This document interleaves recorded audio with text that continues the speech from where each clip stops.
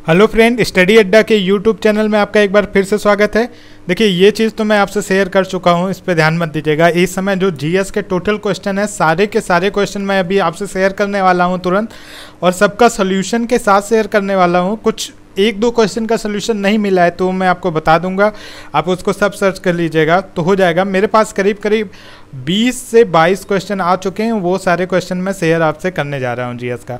तो अगर आपको वीडियो पसंद आए तो आपको पता है क्या करना है। प्लीज़ लाइक और कमेंट ज़रूर कीजिएगा और ज़्यादा से ज़्यादा शेयर कीजिए इस चैनल से, ज़्यादा से ज़्यादा लोगों को जोड़िए, जिससे मैं ज़्यादा से ज़्यादा मुझे मतलब वीडियो बनाना अच्छा लगता है, जो ज़्यादा से ज़्यादा लोग देखते हैं। तो सेकेंड चीज़, जो क्वेश्चन लिए हैं इंग्लिश में लिए हैं सोल्यूशन भी इंग्लिश में है, लेकिन आप लोग घबराइएगा मत, मैं पूरा डिटेल एक एक चीज़ आपको हिंदी में समझाऊँगा, आपको कोई भी कन्फ्यूज़न नहीं होगा, क्योंकि क्वेश्चन जो भी वेबसाइट जहाँ भी से भी मिल रहे हैं, वो सब इंग्लिश में ही मिल रहे हैं, फिर उसको हिंदी में ट्रांसफ़र करना बहुत मेहनत की काम हो जाती है। आपको कोई भी प्रॉब्लम नहीं होगी, विश्वास रखें तो चलें, चलते हैं क्वेश्चन पे। पहला क्वेश्चन है हु इन्वेंटेड बैरोमीटर अब बैरोमीटर हिंदी में क्या होता है, देखिए। जिससे वायुमंडलीय दाब नापने की जो मशीन होती है, उसको हम क्या कहते हैं? बैरोमीटर कहते हैं। और ये हिंदी में कभी भी क्वेश्चन नहीं पूछता कि हिंदी में इसका हरदम बैरोमीटर के ही नाम से आता है। इसका क्या काम होता है? वायुमंडलीय दाब को मापना। और इसका इन्वेंशन किसने किया था? इसकी खोज किसने किया था?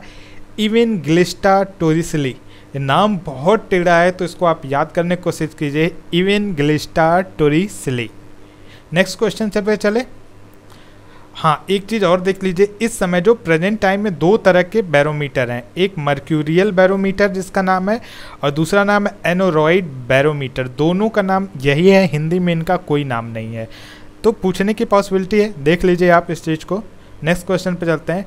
What is the place of Mercury in the solar system question पूछा है कि बुद्ध ग्रह का सोलर सिस्टम में कौन सा प्लेस है? अब इसमें कैसे ऑप्शन दिया था? पहला प्लेस भी हो सकता है, या ऑप्शन दिया हो सूर्य के पास, ये भी हो सकता है। तो जो भी है, वो सन के सबसे पास जो है बुद्ध ग्रह ही है, आपका मरकरी ग्रह ही है। ये देखिए सन के सबसे पास ये जो है, आपका मरकरी ग्रह है। अब जब बुद्ध ग्रह के बारे में ये क्वेश्चन पूछ लिया है तो और क्वेश्चन पूछने की पॉसिबिलिटी बन जाती है। जैसे क्या क्या ये देखिए, पहला तो ये सूर्य के सबसे निकट है। यह सबसे छोटा ग्रह है। अपनी धुरी पर अट्ठावन दशमलव पैंसठ दिन में एक घूमता है। यह सूर्य के चारों ओर अट्ठासी दिन में एक बार चक्कर लगाता है। यह दिन अत्यधिक गर्म और रातें बर्फीली होती हैं यहाँ बुध ग्रह में। और इसका मास जो है पृथ्वी का अट्ठारहवा भाग है, ये ज़रूर याद कर लीजिएगा।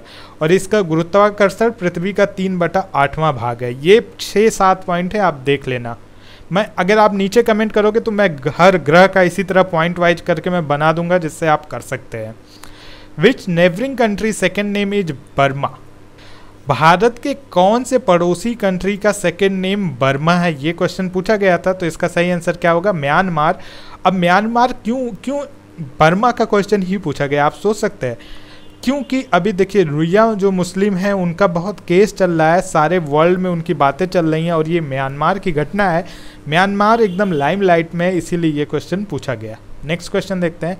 Which roots are not eatable अब ये देखिए, ये क्वेश्चन डिपेंड करता है ऑप्शन पे कि कौन सी जड़ खाने वाली नहीं है नॉट ईटेबल तो अब ऑप्शन में जैसा हो वैसा आंसर होगा, हमारे पास ऑप्शन नहीं था तो हमने कुछ शेयर किया कि कौन सी जड़ें खाई जाती हैं।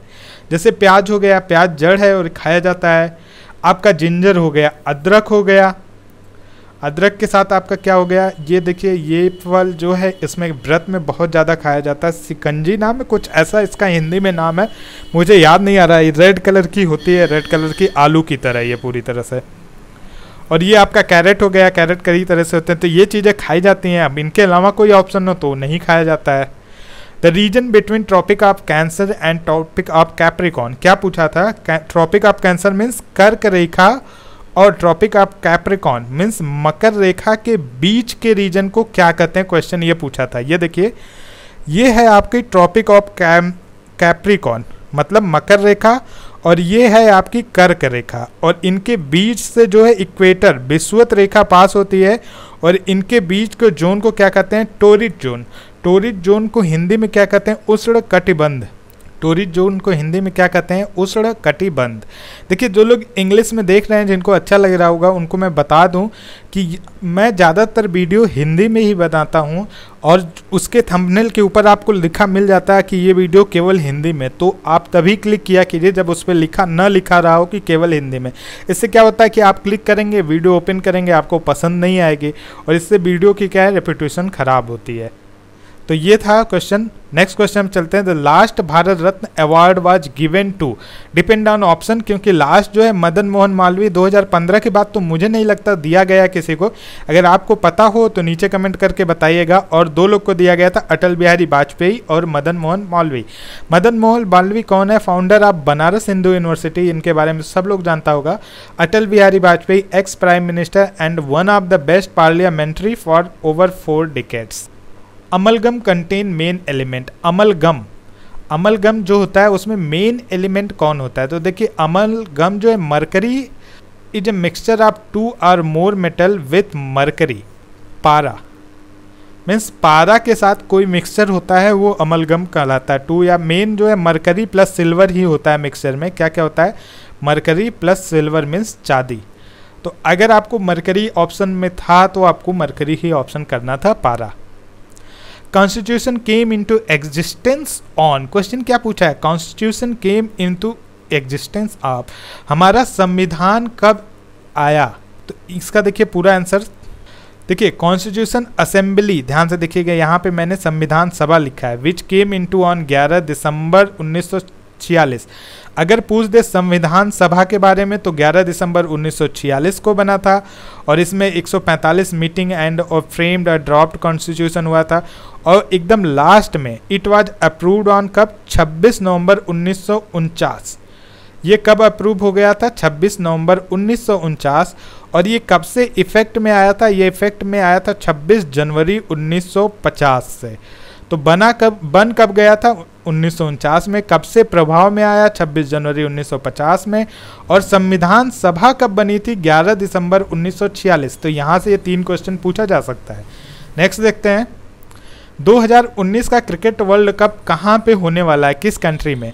तो देखिए 2019 का क्रिकेट वर्ल्ड कप इंग्लैंड में होने वाला है, वेल्स में। और ये 30 मई से 15 जुलाई तक खेला जाएगा।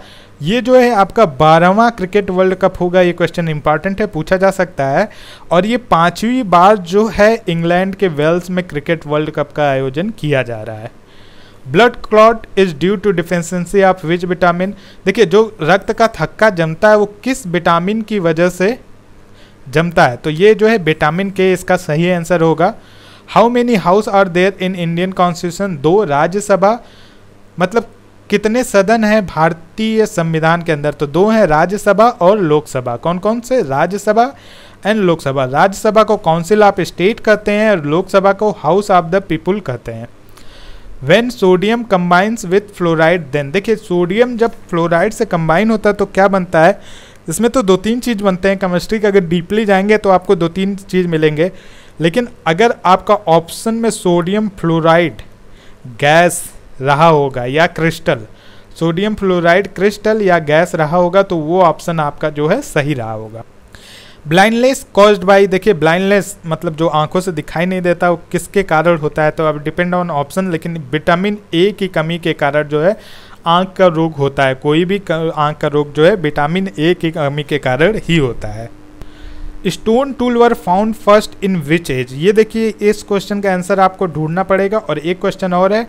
Which of the following is Greco Buddhist art? तो ये डिपेंड ऑन ऑप्शन में था। अब ऑप्शन में से कौन कौन सा ऑप्शन था वो हमें मिल नहीं पाया, लेकिन ये दो क्वेश्चन और था। तो टोटल 20 क्वेश्चन करीब हो जा रहे हैं। गिना तो नहीं हूँ, लेकिन 20 से 22 क्वेश्चन हो जा रहे हैं। जैसे ही हमें मैथ इंग्लिश और रीजनिंग के क्वेश्चन मिलते हैं, हम ज़रूर शेयर करेंगे। बस आप घुसाइएगा मत, क्योंकि अगर मैथ का हमें केवल एक क्वेश्चन मिला तो मैं केवल उस एक क्वेश्चन की वीडियो बना के आपके सामने लाऊँगा। तो थैंक यू फ्रेंड आशा करता हूँ आपको वीडियो पसंद आई होगी।